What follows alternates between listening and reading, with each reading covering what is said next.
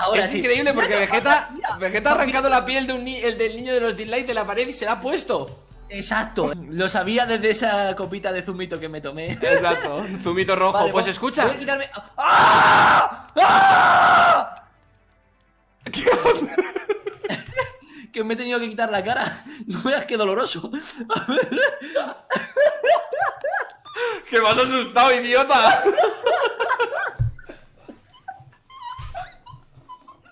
Digo, ¿qué Digo, ya está, Kira, la enchufado los cables. Oh.